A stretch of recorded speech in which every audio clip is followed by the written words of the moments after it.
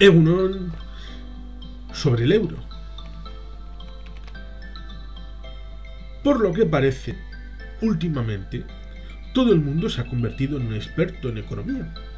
Una de las facetas parece ser de la teología, porque aunque se habla de ciencia económica, hay, sobre todo últimamente, muchos profetas con túnica o sin ella que pronostican incluso el apocalipsis financiero. Claro, en época de crisis se compite por la mayor frase, el titular más llamativo para mantener la ya exigua cuota de venta de las ediciones en papel. Nuestro reto, de los que podemos conocer un poco de dónde viene esto, es doble. Primero desafiando a Leonardo da Vinci cuando señalaba que aquel que sabe lo que quiere decir no encuentra razones para elevar su voz. Y segundo, explicar cada cual desde su punto de vista, en base a un realismo y pragmatismo hoy no muy común. ¿Cuál es la razón de la existencia, al menos en parte, del actual escenario en que realmente el euro no está en crisis? Pero sí estorba a los que les gusta jugar con las cosas económicas. A finales del siglo XIX y la primera mitad del siglo XX se produjo en general una época de apego de las monedas del mundo, más o menos todas las existentes, primero al marco libra-oro y después de la Segunda Guerra Mundial al dólar-oro. Durante el periodo de entreguerras y debido a la falta de liquidez y sobre todo de confianza, y bajo el liderazgo de Alemania se estableció un sistema de intercambio o trueque acentuada tras la conquista de nuevos países por parte del Tercer Reich. La doctrina era la sectorialización, un poco en base a la libre interpretación que decía que Portugal se dedicaría más al paño e Inglaterra a la producción industrial por la denominada ventaja competitiva. Y desde Berlín creían que industria debería haber en Alemania y el resto de Europa ser proveedores de materias primas o de productos sin procesar. Dicho sistema fue objetivo de guerra, como lo demuestra la propuesta de Henry Morgenthau, secretario del Tesoro de los Estados Unidos, de ruralizar Alemania separando Baviera y anexionándosela a Austria. En los acuerdos de Bretton Woods de 1944 se adoptó ese marco dólar-oro. El marco ideado, basado en la convertibilidad absoluta del dinero en oro y en la no fluctuabilidad de las monedas entre sí, se complementaba con restricciones a la circulación de capitales por el mundo. En esa reunión se fundó el Fondo Monetario Internacional y el Banco Mundial.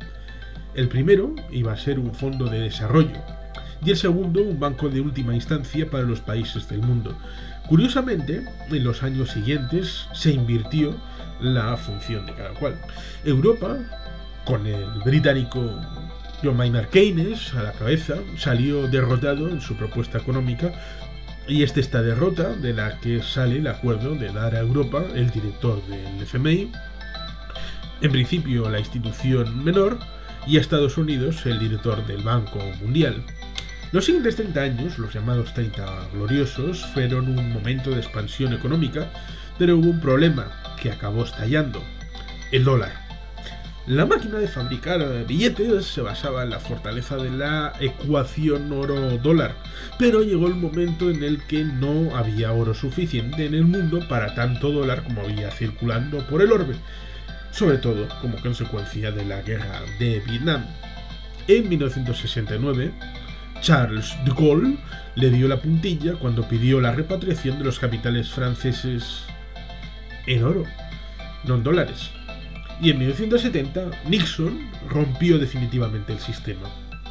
Aún hubo de esperar a la reunión de Jamaica del Fondo Monetario Internacional de 1974 para la ruptura formal del sistema creado 30 años antes. A partir de ese momento, las monedas fluctuarían libremente y sin control.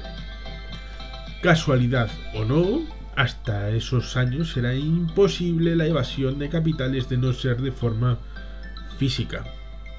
A un catedrático de universidad madrileño le pillaron con una maleta con dinero en barajas. El proceso de desregularización de la circulación en el mercado capitales ha hecho posible que no sea necesario el traslado de dinero físico y contribuye a cosas como las que pasaron después, cuando eh, George Soros jugó con la libra inglesa primero en 1992 y con la lira italiana poco después. Con la primera, el Reino Unido se vio obligado a salirse de la primera banda del sistema monetario europeo. La segunda estaba destinada a abortar el euro cuando aún estaba en la mesa de diseño. Los europeos tomaron conciencia nada más producirse el acuerdo de Jamaica, que eso suponía un riesgo tremendo el tener un mundo completamente libre en sus fluctuaciones. Por eso, para 1979 crearon el Sistema Monetario Europeo, un marco en el que sería más difícil actuar contra cada moneda y jugar con ellas. Desde entonces ya existía el ECU, una cesta de monedas con participación de las monedas de la Europa libre, entonces existentes en el marco de la Comunidad Europea y un poco como respuesta al marco de crisis mundial generado en el aumento de la noche a la mañana del precio del petróleo de resultas en parte de la guerra de 1973 entre Israel y los países árabes de su entorno y que Israel estuvo a punto de perder. Para la llegada de, Jacques Delors ya estaba perfilada la Unión Económica y Monetaria, la UEM, Solo el derrumbe del Imperio Soviético retrasó la puesta en marcha de la fase práctica del proyecto de moneda común. Una moneda común no es simplemente para poder comprar el pan o la cerveza en Estrasburgo y Wolfsburg sin cambiar de moneda, como si estuviéramos en Bilbao Implica una unidad defensiva también para proteger un espacio interior y cara al exterior en las relaciones económicas y financieras y protege, en teoría, de los especuladores. ¿Qué falló entonces con la libra y la lira? El factor humano. Los dirigentes del sistema monetario europeo no salieron al rescate ni de la libra ni de la lira. En este caso, tarde y mal, en el de la lira aunque suficiente para mantener dentro a la lira. La banda interior, la primera banda del SME, era la prevista para el acceso a la moneda única. La segunda tuvo que precisamente ser fundada para acoger al Reino Unido tras el descalabro provocado por este ataque especulativo. Como dato, el entonces presidente del Banco Central francés era Jacques Trichet y el eh, presidente del Banco Central italiano era Mario, Mario Draghi. Y el que más obstáculos puso a través de la prensa, como no, fue el presidente del BUBA, del Bundesbank, el Banco Central Alemán.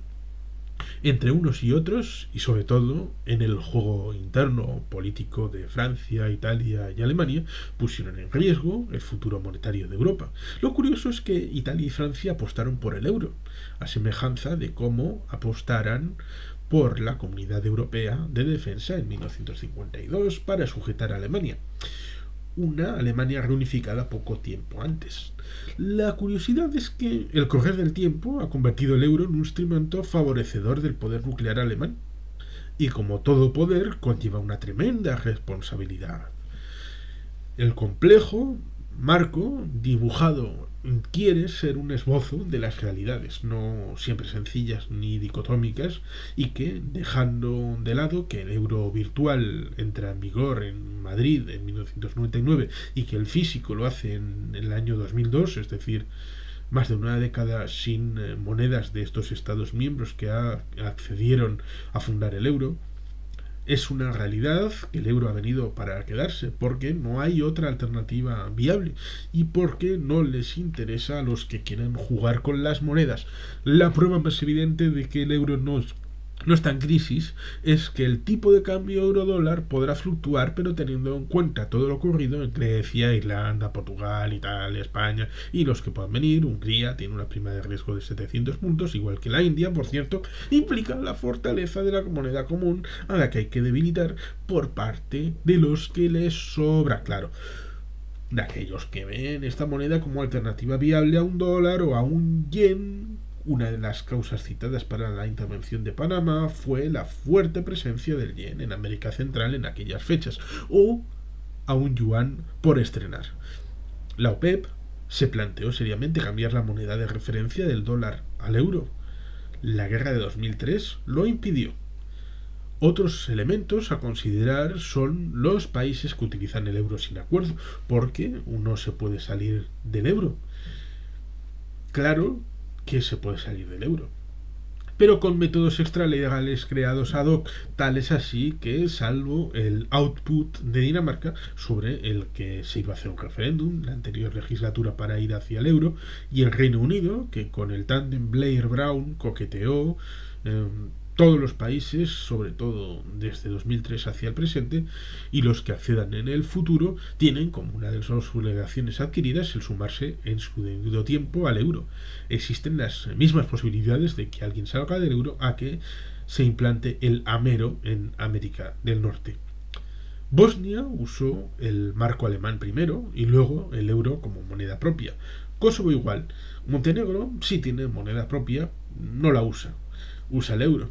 Por cierto, Ecuador no tiene moneda propia. En el año 2000 se produjo la dolarización. Quizá por eso, en el marco del ALBA TCP, están eh, creando el sucre o la moneda común de los países del Consejo de Cooperación del Golfo. Al final, este esfuerzo no es algo exclusivo europeo aunque el modelo europeo es el que más lejos ha llegado y el que más seriamente puede construir un marco alternativo de referencia a un mundo unipolar en el, en el marco monetario. Pero tiene fallos, y de esos fallos, de esas debilidades y del factor humano, es de donde se obtienen las posibilidades de ataque al proyecto, porque a día de hoy no existen muchas competencias cedidas al marco europeo. La gran mayoría siguen siendo competencias compartidas entre los países miembros en el marco de los consejos sectoriales europeos y en el BCE también. Y eso debe cambiar por el bien de Europa, por el bien del euro, por el bien de todos. Para finalizar, he dejado un poco más de historia. Hasta 1832 eh, Navarra expidió su propia moneda y solo desde 1869 se produce la unión monetaria en el Estado español bajo la peseta. Y no es hasta 1876 cuando se produce la unidad económica y de mercado. Y en 1999 eh, desaparece la peseta. No es mucho tiempo, apenas 130 años.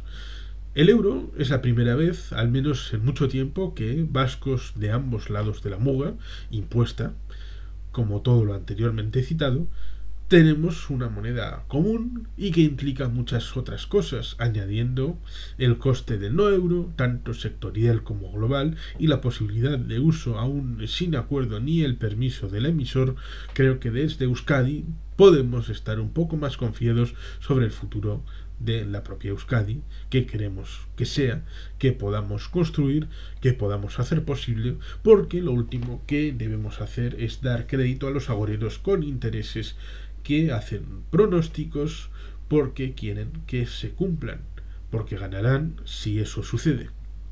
Algo a tener en cuenta, fijando los principios ideológicos y éticos propios, también en relación con el marco europeo e internacional el partido continúa, veamos dónde se dirige la bola. Juan Carlos Pérez Álvarez, 18 de junio del año 2012. Y sin más, es que ricasco, agur Betty Gelpea.